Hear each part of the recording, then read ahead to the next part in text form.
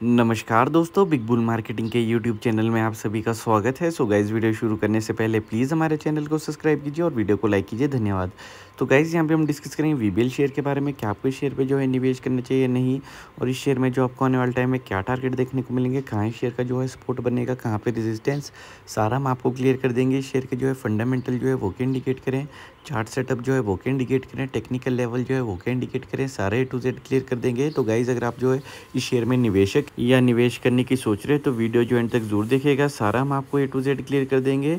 तो गाइज़ जो है आपको पूरा इसका जो है टेक्निकल और जो है फंडामेंटल एनालिसिस जो है एक्सप्लेन तो करते हैं गाइस वीबीएल शेयर के बारे में। शेयर के जो है फंडामेंटल जो है वो के इंडिकेट करे फाइनेंशियल जो है वो के इंडिकेट करे और यहाँ पे जो है क्या मोमेंटम बन रहा है। तो आप देख सकते हैं पिछले पाँच दिनों में स्टॉक में दो परसेंट की गिरावट पिछले एक महीने में आठ परसेंट की गिरावट। तो एक स्ट्रॉन्ग गिरावट हमें देखने को मिली है।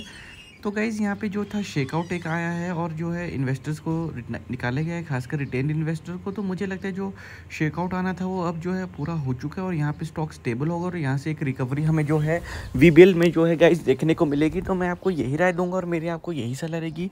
VBL शेयर में आप लोग जो है बेफिर होकर बैठे कंपनी फाइनेंशियली काफ़ी स्ट्रॉन्ग है, आपको बताया हमको इसके फाइनेंशियल्स कितने बढ़िया रखते हैं। आप देख सकते हैं रेवेन्यू कितना बढ़िया है नेट इनकम कितनी बढ़िया है।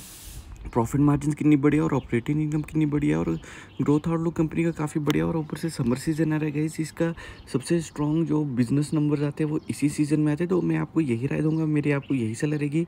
जो शेक आउट आना था गाइस वी में वो आ चुका है। अब यहाँ से जो है रिकवरी है और एक रिकवरी फ़ेज़ ही हमें जो है स्टॉक में देखने को मिलेगा। तो मैं आपको यही राय दूँगा और मेरी आपको यही सलाह रहेगी। वी में आप लोग जो है बेफिल पोजिशन बनाइए। कोई भी कमी आपको जो है वी में देखने को नहीं मिलेगी।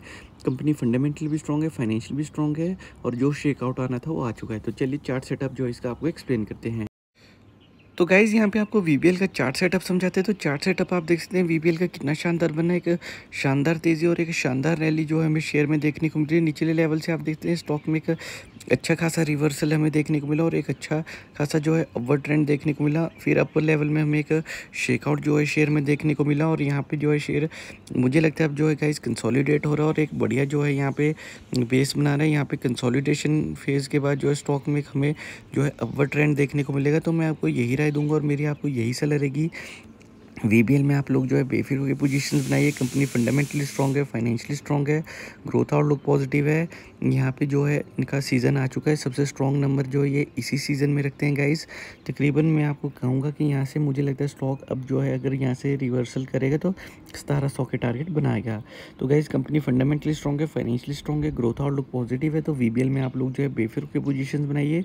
कोई भी कमी आपको VBL में देखने को नहीं मिलेगी। ये शेयर जो है आपको काफ़ी बढ़िया रिटर्न बना के देगा। तो यहाँ पे जो है काफ़ी स्ट्रॉन्ग नंबर आने वाले टाइम में देखने को मिलेंगे। तो वीबीएल में आप बैठे हैं और अच्छे खासे रिटर्न इसमें आपको देखने को मिलेंगे। कंपनी फंडामेंटली स्ट्रॉन्ग है फाइनेंशियली स्ट्रॉन्ग है और ग्रोथ आउटलुक पॉजिटिव है। तो गाइज़ कोई भी अपडेट आता है वीबीएल से रिलेटेड हम आपको बता देंगे। तो गाइज़ प्लीज़ चैनल को सब्सक्राइब कीजिए वीडियो को लाइक कीजिए। Thank you